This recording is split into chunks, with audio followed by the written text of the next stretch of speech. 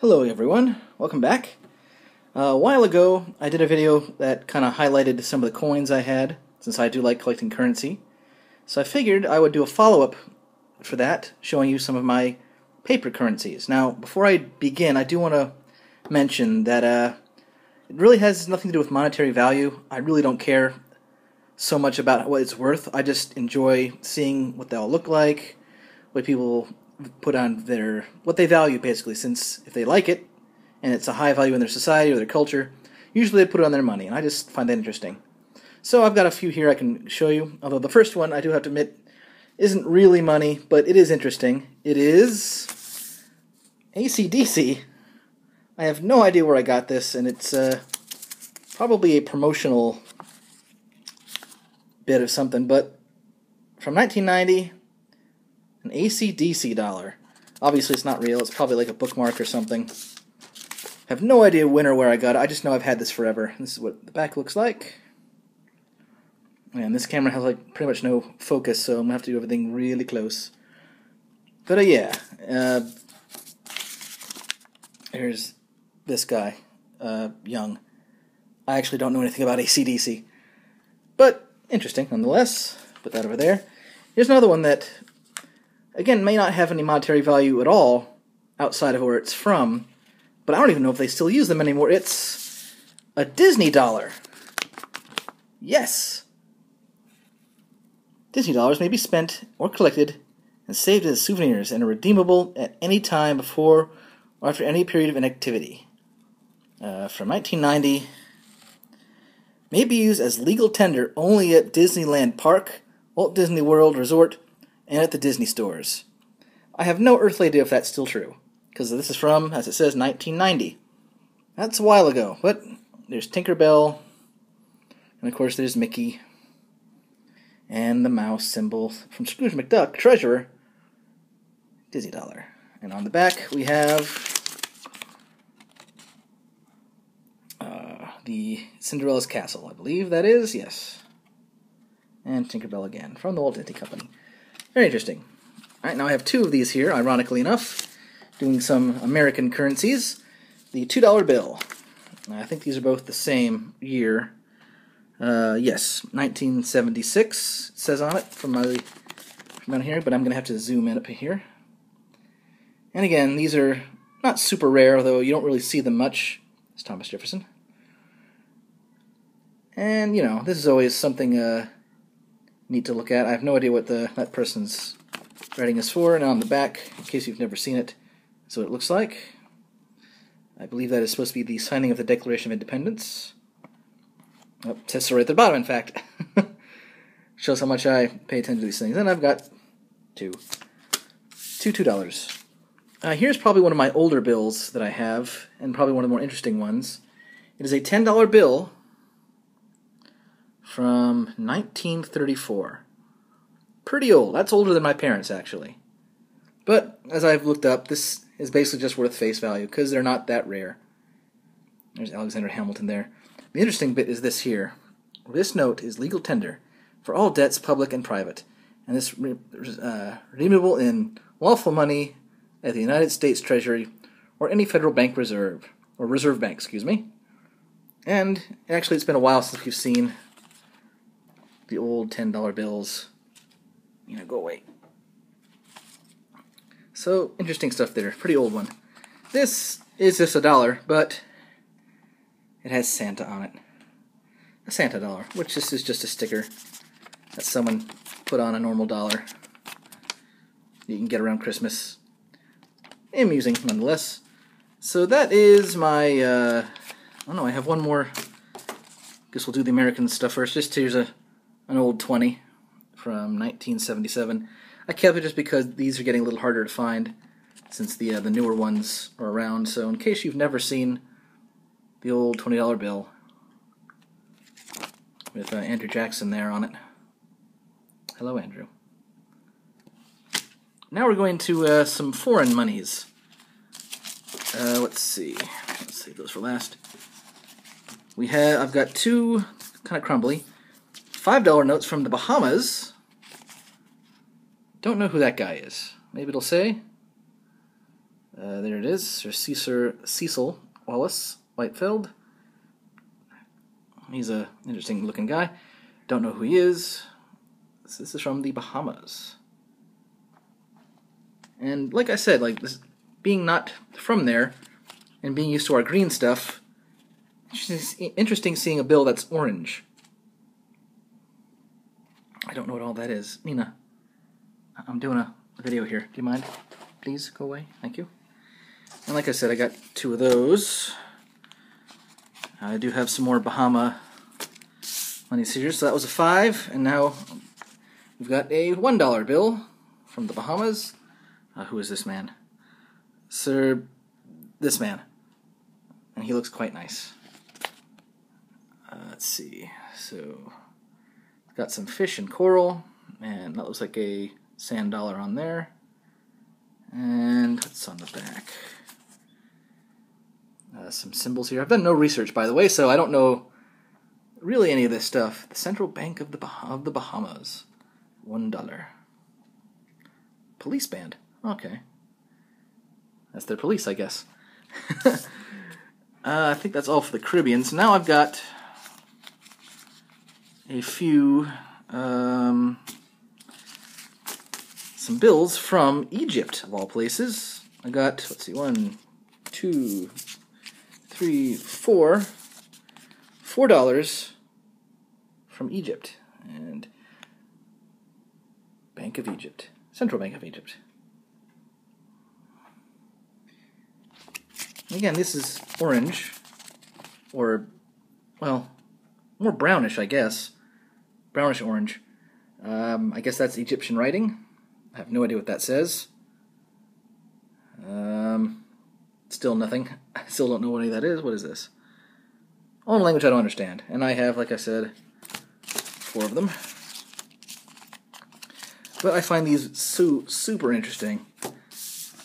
You know, I've never been to Egypt. Let's see. This is a uh, five dollar note, and I have four, five, six of these. Must think. Um, oh, I should say that the Caribbean dollars came from my friends who went there on a, a honeymoon trip, and the Egyptian dollars I have here were from a college professor that went there also on a trip, and I just basically told them, hey, I like foreign bills, would you mind bring me back one? And they gave me back more than one. So here's a $5 Egyptian note. I don't know what all that is about. I think that's where, if you hold it up to the light, you can see a face, but I don't think my camera's going to really be able to do that. You can sort of see it uh, in relief down here, but not really. What's interesting, though, is, you know, on the front, it's all in their language, but on the back here, it's in English. Very strange. I wonder why they do that. Uh, I guess for people like us who don't understand the writings, I suppose. And I've got um, one more from Egypt. This is something we don't have here in America. This is a $25 note. So they have something set up where it's they can just give them a 25er. I have no earthly idea what these are uh, worth compared to our American dollar. I generally have no idea. And oh, piece of corn and wheat. I'm gonna guess. Um, don't know what that is. uh, yeah, but like I said, really cool looking stuff. This is sort of a a purplish blue color. I don't know how well it's going to come out in the camera. Maybe if I put it down and or the light or back a ways. No, too reflective. Are you enjoying that? Psst. Yes, you. I would appreciate if you don't steal those. Back off. And I do have a uh, like a uh, English five pound. There it is, and there's that lady. I can't quite make out their cursive there. But I'm to guess someone of importance, maybe a prime minister, although I doubt it. Um, and yes. And that's the queen, I'm assuming. And again, five pounds from Bank of England. I promise to pay the bearer on demand the sum of five pounds. Um, what is more common there? Since I see a lot of, I don't rarely see, uh, I don't usually see people with these in movies and things. Usually they have the coins. Uh, this is a something. I'm not sure if this is uh, a yen or something. I really genuinely don't know. Uh, so it's either Chinese or Japanese. Not quite sure. I don't remember where I got this one. The British pound I got from the airport. This I actually don't remember where I got. So I don't know if this is genuine or fake or. But again, interesting. Wish I could understand that. And I also have a little something a little closer to home a Canadian fiver. And of course, being Canada, hockey. Oh, they love their hockey and sledding. And they have this guy who is, uh, let's see, Sir Wilfrid Laurier, Prime Minister. Or Premier Minister. I'm to assume that since it's Prime Minister there, that's just how they spell Prime. So it is a $5. And it looks smudged here, or whited out, but it's that in real life too, so and my most recent uh, acquisitions, and one of the reasons I. Do you mind?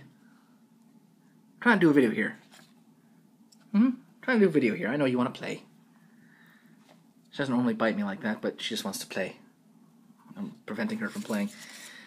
These are bills from Cuba, and I got two of them because they actually have two currencies. So these are both technically a dollar, but not quite. This is the a normal Cuban dollar. I forget exactly what they're called, but Banco Central de Cuba. And there's that gentleman there, Jose Marti. And here it is on the back. Uh, is that Fidel? Fidel Castro there? It looks like it. Reading the uh, the Revolution. Very interesting. I didn't notice that the first time I looked at it. There's a Cuban flag. And then they have this, which is a basically called what they call a peso convertible. It says so right on there. And this is also a dollar.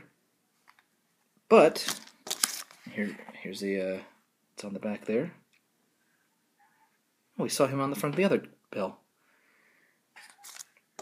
Uh, apparently, this is basically equivalent, although I don't know exactly if it's the exact same amount, of our American dollar, whereas these, the normal Cuban dollar, are actually worth far less. I think you would need maybe five of these to equal one of these or something like that. So people who are getting these tend to be a lot worse situation than those who are earning this one here. I don't know why they have that.